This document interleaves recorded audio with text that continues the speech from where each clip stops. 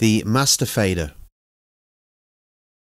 The master fader is used to control the stereo output of the console. Unlike the channel faders, it is calibrated with the 0 dB mark at the top of the channel, as the main purpose of this fader is to create a fade out at the end of a track.